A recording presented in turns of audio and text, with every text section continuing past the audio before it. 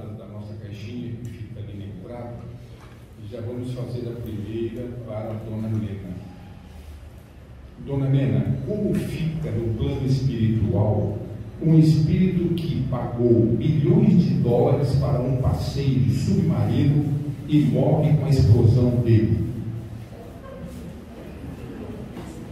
A morte foi tão violenta que até que ele recobre a lucidez que ele não está mais na terra, vai levar o tempo para que eles possam e nós todos possamos ver o que é realmente a antecipação da coisa que pode se pronunciar. Nós podemos imaginar muitas facetas. Esse espírito, um dos tripulantes, ele era tataraneto de uma pessoa que morreu no Titanic. Então, talvez, quem pode nos garantir que exista qualquer conectação com essa alma que desencarnou? Agora, o problema é que toda coisa nova tem um preço. Nós vemos, por exemplo, que sempre antes de vir a lei, a, o direito, os cuidados, surge movimento. A própria aviação levou muitas vidas, então foi realmente também uma imprudência. Não estavam preparados para essa nova conquista. Então nós temos que observar. A pergunta diz: como se vê no mundo espiritual? Se paga um preço. E quem quer ter a liberdade da conquista, muitas vezes está pagando esse preço. O que poderia ter sido realmente é a legalização do invento. E que isso não aconteceu. Nós vemos que eles foram, assinaram até um termo de, de, eh, de direitos e enfrentaram. Então, tudo isso no mundo espiritual vai ter o seu preço. E nós sabemos que esse cuidado nós temos que tomar hoje, porque a tecnologia está pondo em risco a todos nós.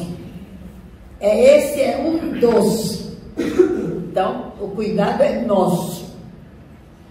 Doutor João, é, essa pergunta a dona Nena já fez uma introdução na resposta, entendeu? Mas eu vou fazê-la. É, li no jornal que a esposa do dono do mini submarino Ocean Gate, que explodiu semana passada, é tetraneta de um casal milionário que morreu no naufrágio do Titanic. Isso é coincidência? Você Dona Helena já respondeu parte, ou, ou já respondeu essa questão, né? Assim, coincidência não existe. O que, que a gente precisa saber se é se tem uma ligação espiritual ou não, para nós pouco importa. O importante é que assim, quando a gente encarna, tem um fator chamado as atrações, as tendências. E André cuida muito disso, André Luiz cuida muito disso no livro Obreiro, é, Missionários da Luz, que ele fala assim, todas as nossas profissões, todas as nossas atividades são movidas por tendências que a gente carrega. Assim também os relacionamentos são envolvidos por tendências que a gente carrega. Essa pessoa que se dedicou a esse tipo de trabalho não é um trabalho comum, então ele tinha uma tendência para tanto. Certamente o vínculo estava marcado. O Paulo, mais uma pergunta ainda, mas acho que terminamos esse tema. Essas cinco mortes da explosão do submarino americano não são vítimas da vaidade e orgulho de serem milionários? Isso quem pode responder são eles, não eu. Porque como é que eu vou saber qual é o sentimento dessas pessoas? Eles vão responder pelos seus próprios, pelos seus próprios sentimentos. Se eles foram em busca de vaidade, de querer se mostrar que eu tenho dinheiro, enfim, enfim, eles vão ter que responder com certeza sobre a sua responsabilidade. O livre-arbítrio é exatamente isso. Nós temos a liberdade de fazer o que nós queremos. Como disse o apóstolo Paulo, tudo posso, mas nem tudo me convém. Então, é isso que nós temos que passar. Avaliar a consciência de cada um é difícil. Eles vão ter que responder. Se houve vaidade, com certeza terão que responder pela sua própria vaidade. É, dona Nena, a pergunta é a seguinte: devido a, devido a uma doença da qual fui acometido no passado, não consigo me concentrar e às vezes me pego divagando na hora do passe, durante as palestras e na hora da prece. O que me entristece muito. Gostaria de uma orientação. Você imagina que às vezes não está recebendo tanto que desejaria, mas o seu espírito está sendo beneficiado. Então, se na palestra você não consegue absorver o tanto que desejaria, por algumas limitações que tenha, não se preocupe.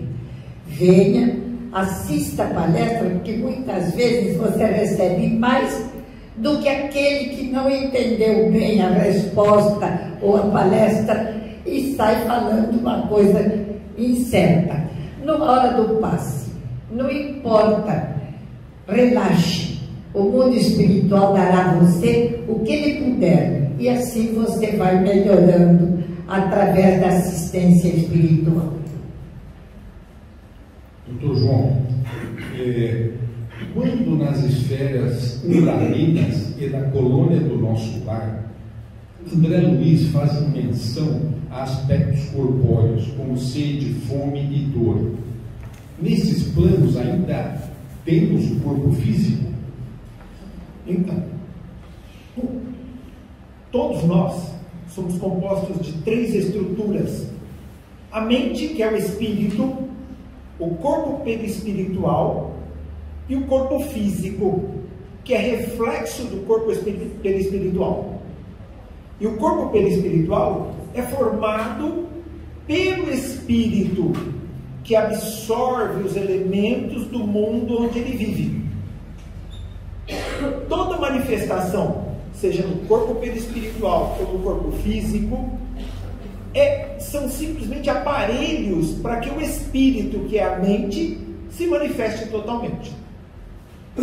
E se alguém se encontra doente na terra, o doente que a gente vê, a doença que a gente vê no corpo físico, é simples manifestação daquilo que o espírito vive.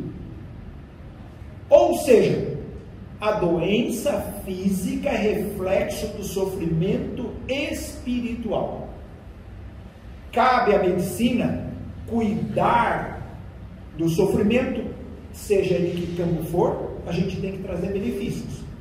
Por isso que a gente diz na doutrina espírita que todo tratamento de saúde ele deve ser completo com o tratamento espiritual. Emmanuel é muito claro que o tratamento medicamentoso é parte do tratamento que a gente vive. E se o, o espírito está doente e ele desencarna, ele continua doente do outro lado. André Luiz tem uma citação muito interessante no livro Entre a Terra e o Céu, que ele diz assim: não é porque se rompe a gaiola do passarinho doente que ele sara. Por isso que é um alerta fantástico das pessoas que querem apressar a morte de alguém para tirar o sofrimento.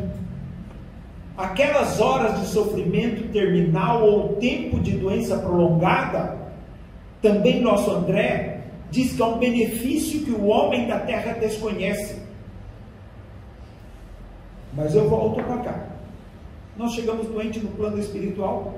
E o próprio André mostrou que a doença física prossegue no plano espiritual, porque quando ele desencarnou, Ele ficou oito anos no umbral, passando pelo sofrimento do câncer intestinal.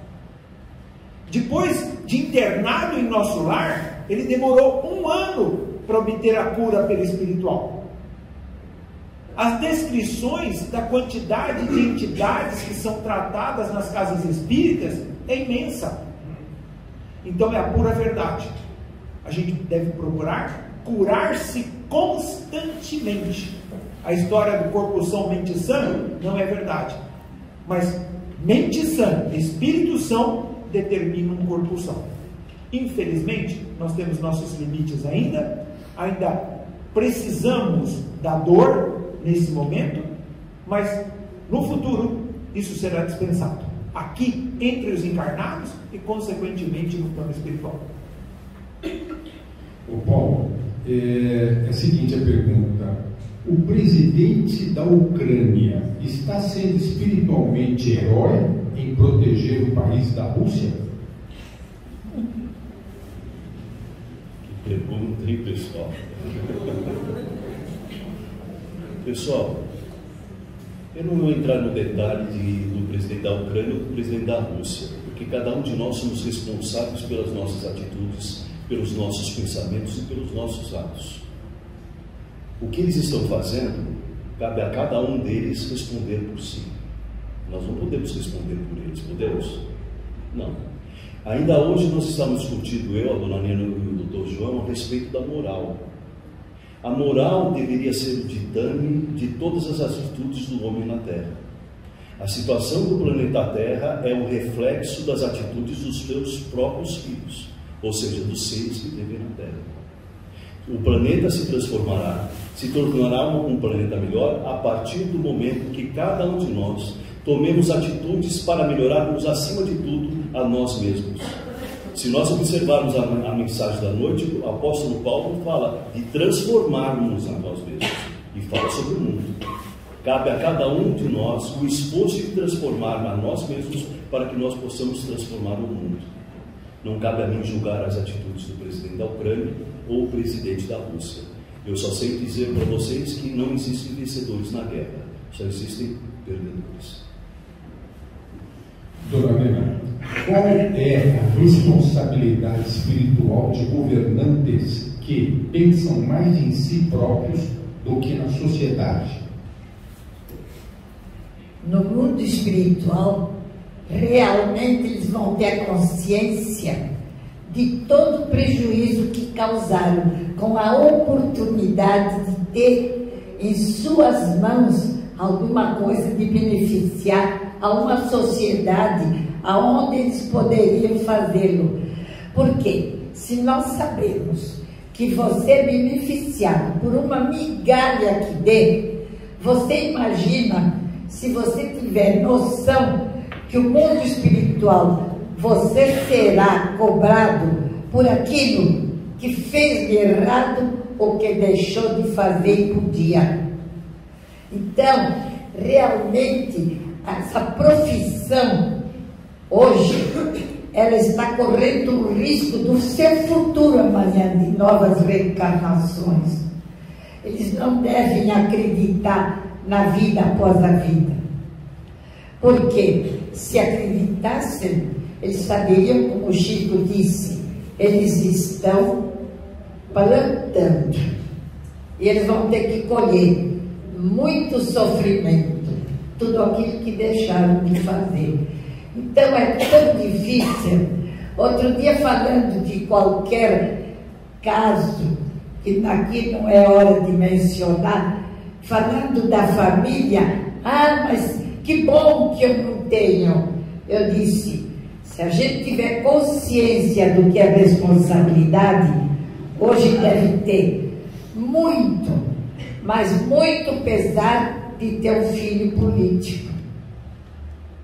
Porque é uma profissão que está plantando e plantando num terreno tão bom que é o nosso planeta e plantando tanto sofrimento, tanta lágrima. Então, amanhã eles vão ter que colher isso. Doutor João, A mídia hoje domina o planeta e nessa onda surgem os influenciadores, que carregam consigo milhões de seguidores. Serão responsabilizados também no plano maior? Cada um ouve aquilo que quer, aceita aquilo que deseja, encontra aquilo que procura. Quem dá atenção para essas pessoas? Quem dá atenção para os programas de televisão ou do rádio é, que são sensacionalistas? Esses são responsáveis. A gente procura e encontra.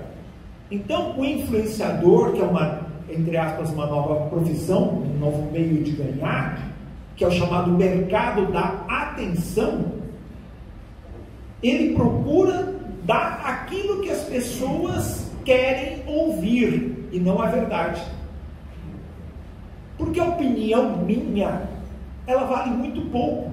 Eu falo para as pessoas assim, que quando alguém fala, na minha opinião, eu olho para mim e falo assim, lembro da história do Chico, né? Que beleza, né?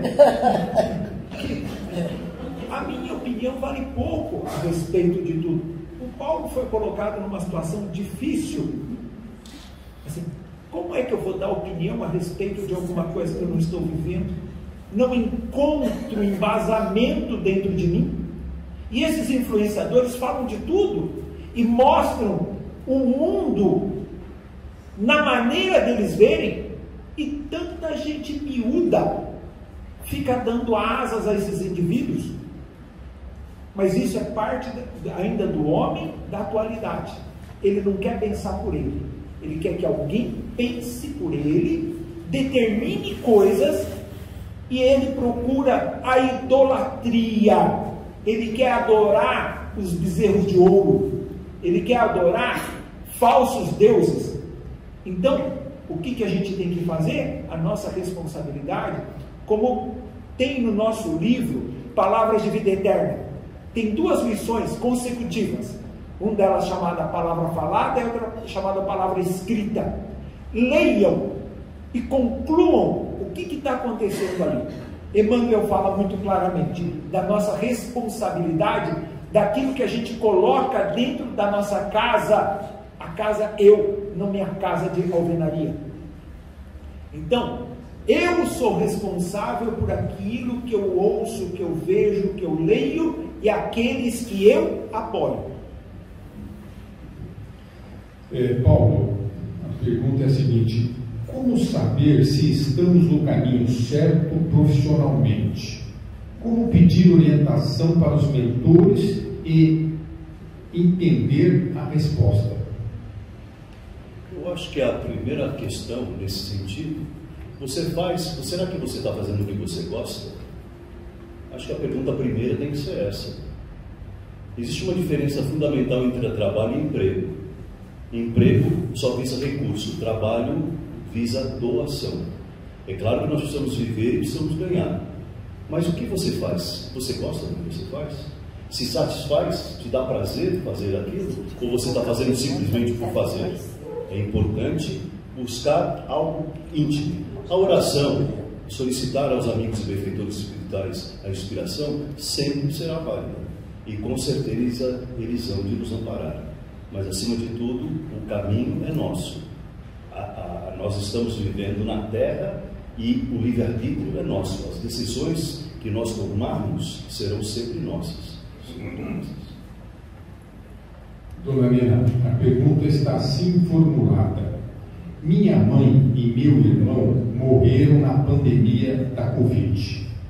Como o mundo espiritual explica este, estes desencarnes? É alguma dívida ou expiação que eles tinham? A morte sempre tem uma maneira de se dizer, foi por isto, mas se estava predestinado de que eles teriam que desencarnar durante a Covid e por através dela, nós vemos que já isso está até projetado no mundo espiritual. Teve a gripe espanhola, muitos espíritos desencarnaram e depois já foi sabendo e, e a possibilidade de combater. Mais tarde nós tivemos outras epidemias, então é natural, até do progresso. Então todos nós podemos passar por estas situações. Eu mesmo, dentro da nossa família, nós tivemos o desencarne que eram consequências da Covid no nosso Gaules. Então, se estava projetado ele ter que desencarnar e aconteceu de ele ser contaminado pelo vírus, é por alguma coisa ele teria que desencarnar. Nós não podemos determinar exatamente essas doenças que chegam e que através dela se desencarna são projeções que o mundo espiritual traz e é o preço da evolução da ciência também.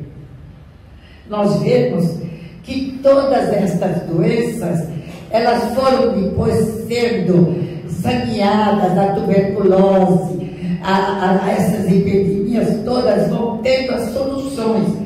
E as vítimas vão desencarnando. Mas isso não quer dizer que teria que ser por aqui.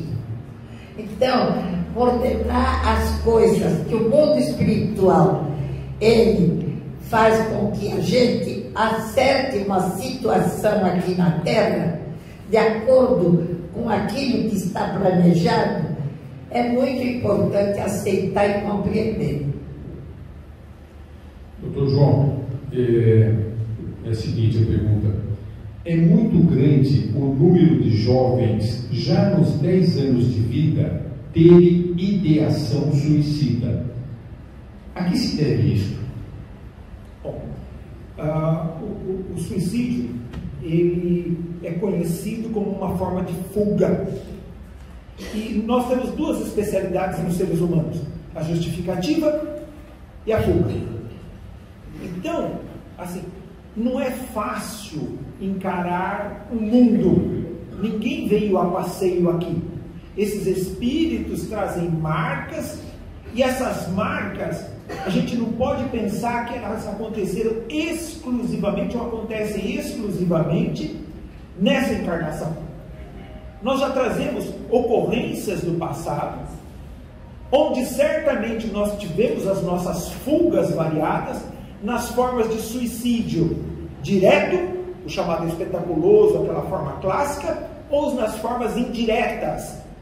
Existem fugas disfarçadas, e isso a gente traz essas marcas para passar por novas ocorrências na vida e se fortalecer.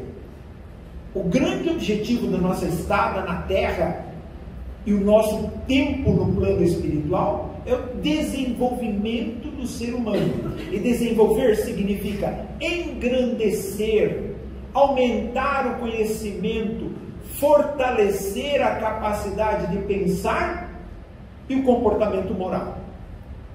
Se a gente não faz isso, não adianta nada.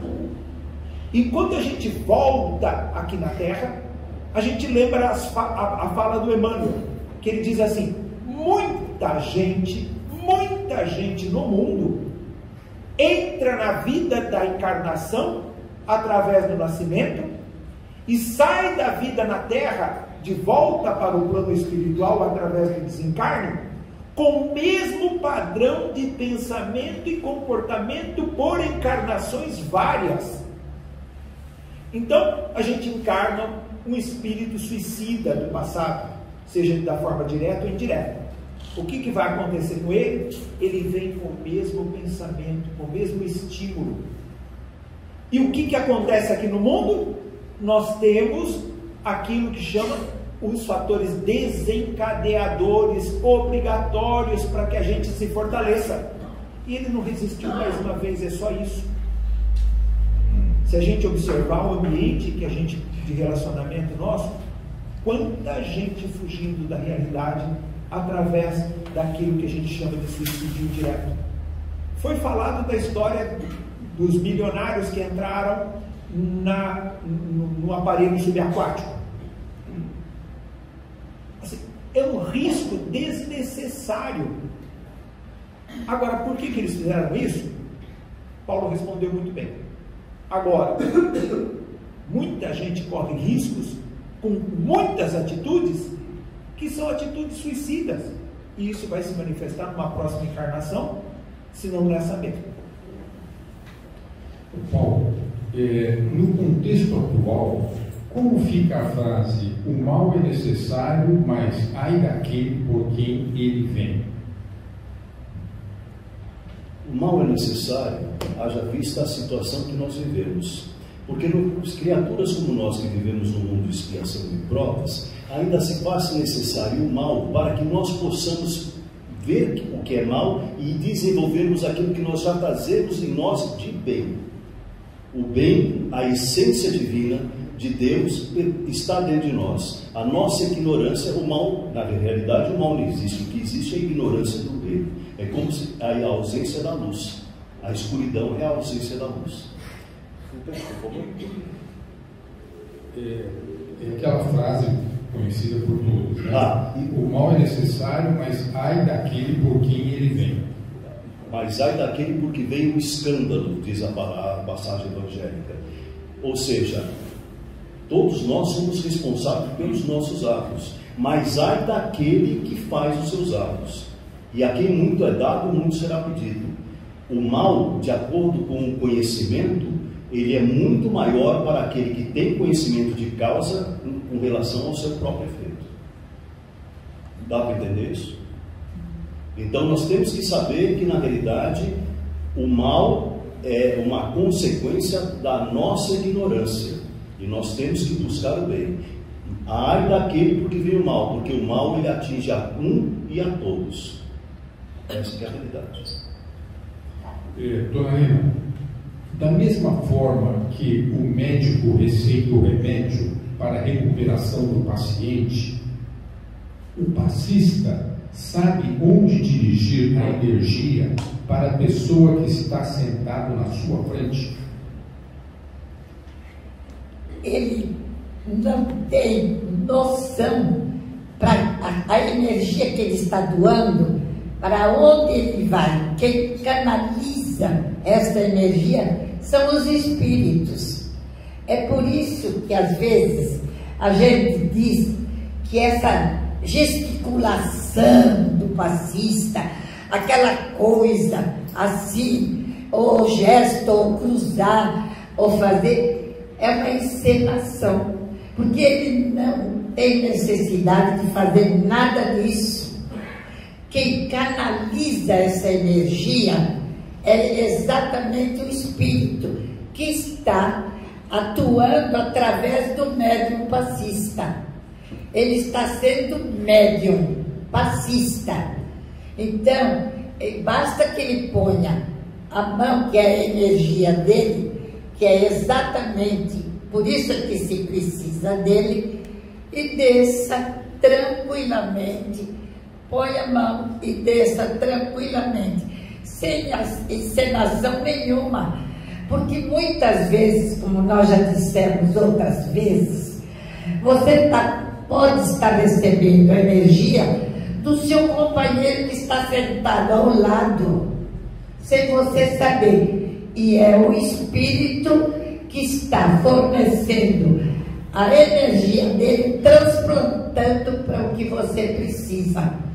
Então, isso de achar que se você faz assim ou faz de outro jeito, encenação, tem nada a ver. Ele não precisa encenar coisa nenhuma, ele tem que doar. Nem precisa pensar o que aquela pessoa tem. Entregue, se entregue nesta doação. O que ele vai precisar, o mundo espiritual sabe muito bem de quem se sentar na cadeira. Doutor João, como é visto tá, a esquizofrenia pelo mundo espiritual? É um problema físico, genético ou espiritual mesmo? Como ajudar um amigo nessa situação? Bom, vamos ter paciência. Primeiro passo. Ah, o problema da doença psíquica, não vamos falar doença mental, porque a doença do espírito, muito certamente a doença é do espírito, né? é, a psiquiatria não, não, usa mais o termo doença mental. Doença psiquiátrica, eles chamam. Se nós falamos numa questão anterior, que o espírito coleta do ambiente, do mundo em que ele vive, o material suficiente para montar seu corpo perispiritual, e o corpo perispiritual é modelo para o corpo físico, se o espírito está doente, ele vai manifestar nas células do corpo físico a doença que ele carrega, seja ela de que maneira for. Mas com certeza, toda doença tem um comportamento de, de doença espiritual, fundamentalmente. Quando o médico trata o corpo de carne, ele está tratando manifestações daquilo que o espírito carrega.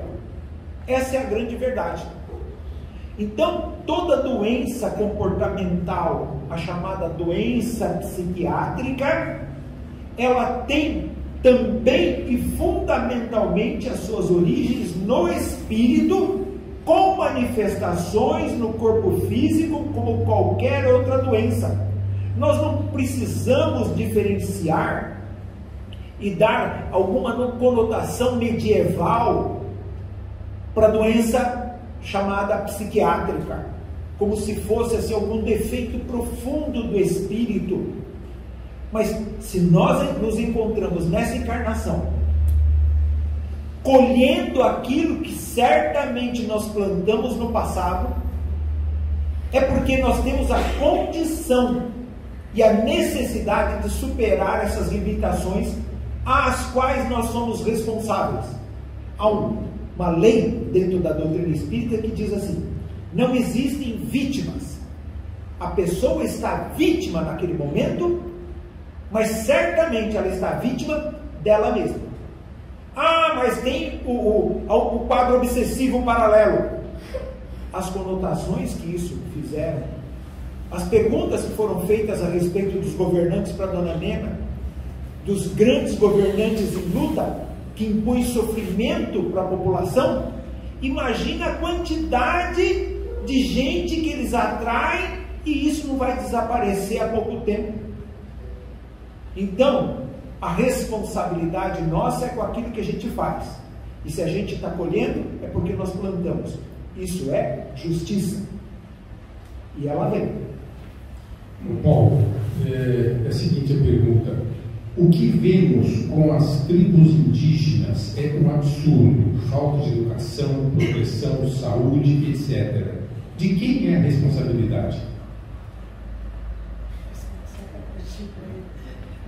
Primeira coisa, é uma pergunta capciosa. Uma criança, ela é responsável pelos seus atos? De maneira nenhuma. Será que o índio não pode ser comparado com uma criança? Frente às nossas conclusões?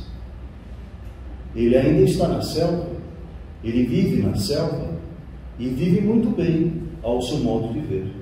Quando nós chegamos lá e influenciamos a vida dele, às vezes nós temos que tratar com muito amor, como Emmanuel, como Manuel, Padre Manuel da Nóbrega, na catequização dos indígenas. É algo que se faz com muito cuidado, com muito critério e com muito amor, porque são criaturas humanas, mas numa encarnação silvícola, praticamente silvícola. Cabe amparar. A responsabilidade pelas falhas não são deles, e sim daqueles que vão lá com interesses escusos, visando não a melhoria, a melhoria de um povo indígena, mas a melhoria do seu próprio bolso. Essa é a realidade. Eles vão lá em busca do ouro. É como mataram milhares de astecas e incas no passado, porque queriam uma pedra dourada que era o ouro, que para eles nada mais era do que um nada, era uma pedra dourada. Então a gente tem que respeitar o momento do índio. E esse passo a passo é como uma criança. Eu não posso pegar uma criança no primeiro ano primário e transferi-la para o primeiro ano de colegial. É um processo. E um processo de libertação através do que? da educação e do conhecimento que tem que ser ministrado com muito critério e com muita sabedoria. Essa é a minha opinião. Ainda nessa linha, dona Helena, a pergunta é a seguinte: por que um espírito escolhe ou é determinado pela espiritualidade reencarnar como índio? Qual é o aprendizado? Não é reencarnar como índio, é a necessidade que o espírito tem para o crescimento, para a evolução. Então, se ele está naquela situação, é, o aculturamento dele será talvez mais tarde. Então, porque nós sabemos que os espíritos vão reencarnando sucessivamente.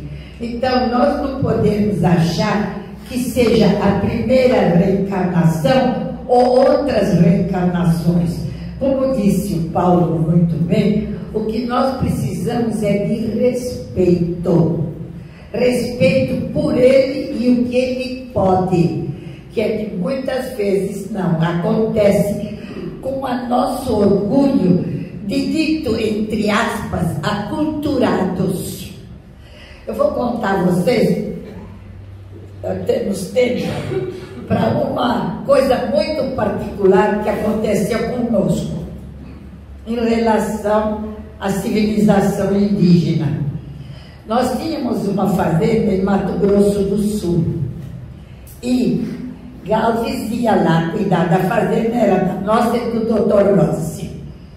E por lá apareceu um índiozinho perdido. E era o bibelô da turma dos fazendeiros. Compraram uma camisa do Corinthians e era uma graça, o índiozinho. Galves estava cheio de amor por ele. Então ele chegou e me sugeriu de trazer o índio para cá. Eu disse absolutamente. Porque ele vai me torturar e eu vou torturá-lo. Por quê? Ele vai sentar-se à mesa comigo e não sabe comer, e eu tenho que ensinar, e eu vou torturar o pobre do índio que estava também aonde estava. O Gaules acatou, porque não tinha outro jeito mas ele queria trazer o bibelô para nossa casa.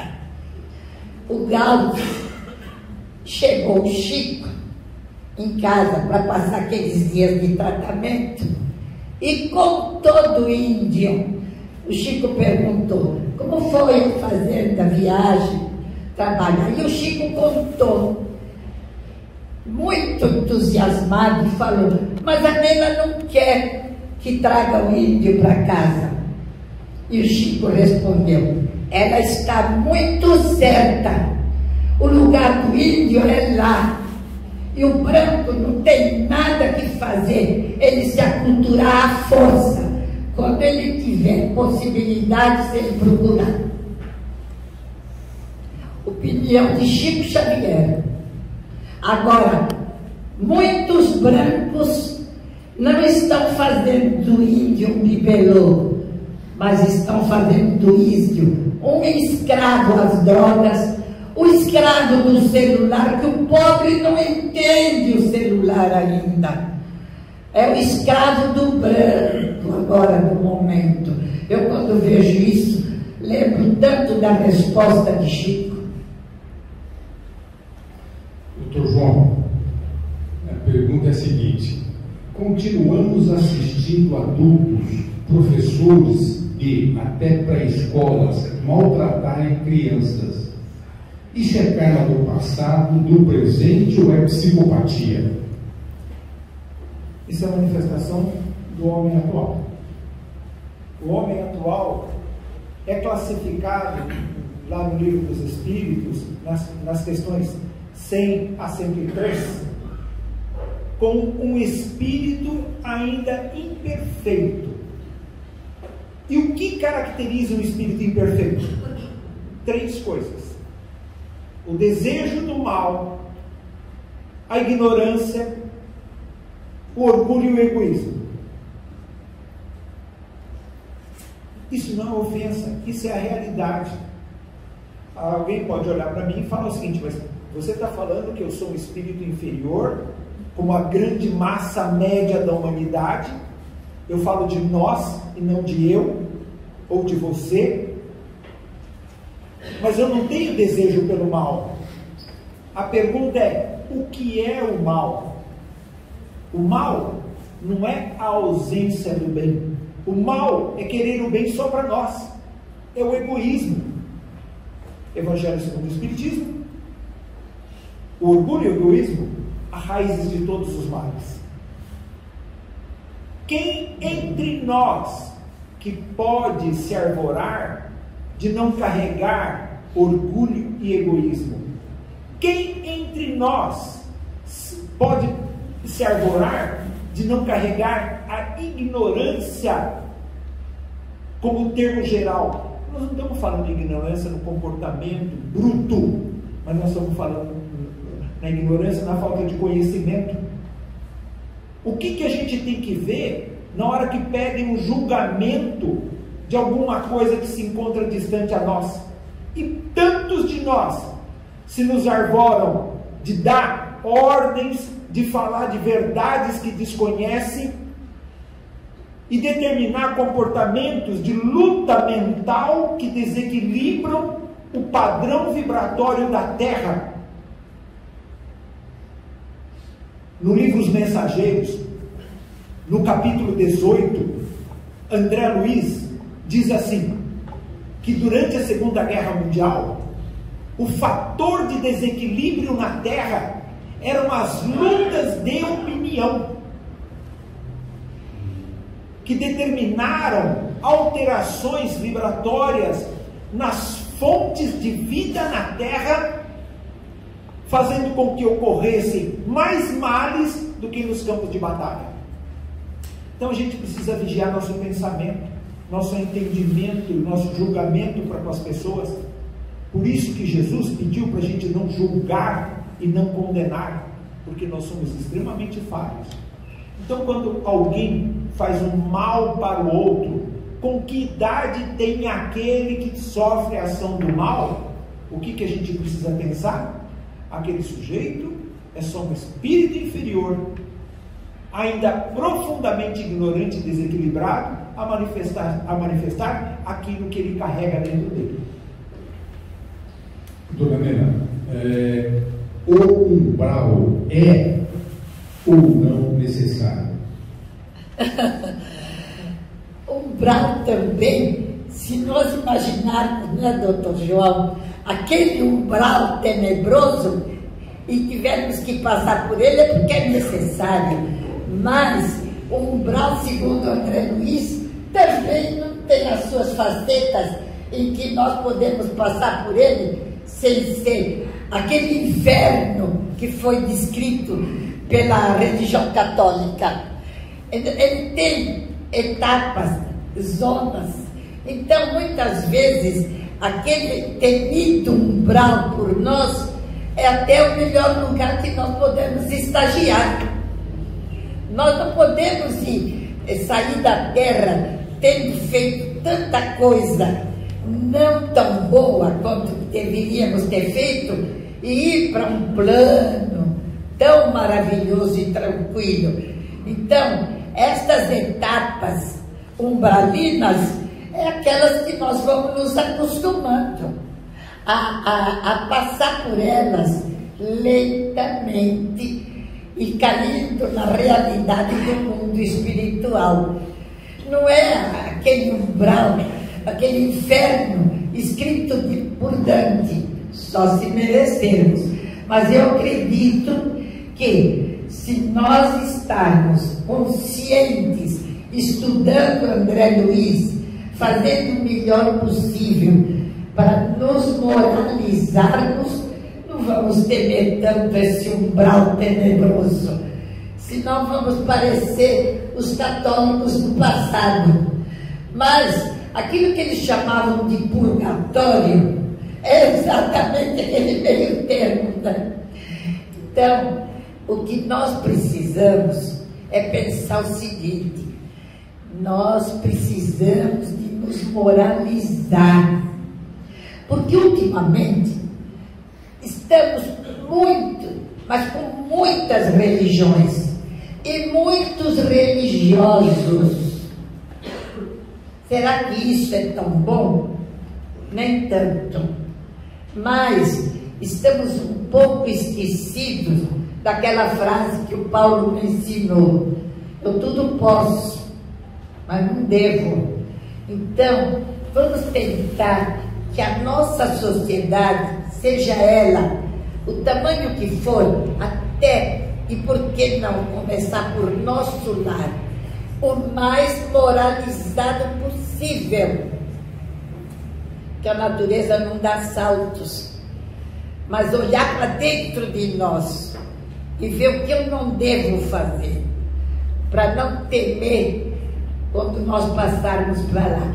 Porque se nós fizermos isso, vocês tenham a certeza que ao desencarnarmos, todos nós que estivermos lutando por nossas faltas, nós teremos um período de descanso, de férias, dormindo, sendo tratados pelo esquecimento. Essa bênção. Não temermos um lá, temermos o que nós estamos fazendo aqui. Quanto melhor nós fizermos, melhor será o período que nós estacionaremos lá no mundo espiritual. Porque, na verdade, a Terra está um umbral danado, né, João? Vocês viram como nós estamos na Terra agora? Um nos entendendo com o outro. Uma liberdade tremenda, sem responsabilidade nenhuma. Isso não é um umbral? Tudo nós podemos fazer, mas tudo que fizermos aqui nós vamos acertar lá no mundo espiritual.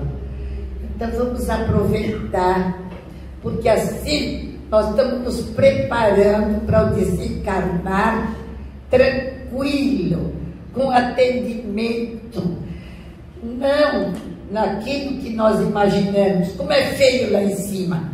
Vamos olhar também como é feio aqui embaixo, porque olha que não está nada bonito. Dona Nina, só para encerrar então hoje a nossa mesa redonda, uma última pergunta. O Espiritismo será o futuro das religiões? Não haverá religiões no futuro se nós aprendermos a conviver dignamente uns com os outros. Agora, que o Espiritismo ensina isso, ensina. Todas as obras espíritas ensinam isto. Nós não sabemos conviver. Eu quero e eu posso. Eu sou e eu mando. Isto o Espiritismo ensina. Quando nós tivermos aprendido, então para que também a doutrina espírita? Não haverá nenhuma. Porque quando a religião católica achava que ela era dona de saber dizer quem ia para o inferno, para o purgatório ou para o céu, até as crianças não batizadas não tinham o direito de ir para o céu. Então, saber espiritismo é importante, mas viver o espiritismo é muito mais importante. Por quê? Às vezes você entra no espiritismo, mas o espiritismo não entra em você. Este é o problema. Agora, quando nós estivermos moralizados, não haverá nem espiritismo, nem catolicismo, nem protestante. Para quê? Nós nos amaremos uns aos outros e nos respeitaremos. Então, teremos a responsabilidade do espírito evoluído. Então, para que religião? Bom, nós estamos então encerrando a nossa mesa redonda de hoje. Esperamos revê-los no próximo mês, na última segunda-feira. E antes dos passes, nós pediremos ao Dr. João que nos conduza a prece de encerramento. Senhor Jesus, mais uma vez agradecidos por tudo que nos é oferecido e pelas oportunidades que nos surgem nesse momento, não como justiça, mas por misericórdia. Porque não é nosso mérito, mas sim suas bênçãos que são distribuídas. Agradecemos a reunião dessa noite, onde nós trocamos algumas palavras, mas fundamentalmente nós somos recolhidos aqui a chamada à nossa responsabilidade da vida. Se gravarmos somente isso, teremos ganho a existência atual. As suas bênçãos se renovam a todos os instantes, a todos nós, mas não entendemos. Mas nessa noite, Jesus, abençoa-nos mais uma vez na misericórdia da tua presença através desses nossos amigos que nos assistem, que nos conduzem. Já agora aqui. E permita, Jesus, que saímos daqui mais conscientes do que chegamos e mais refeitos do que quando entramos. Que assim seja.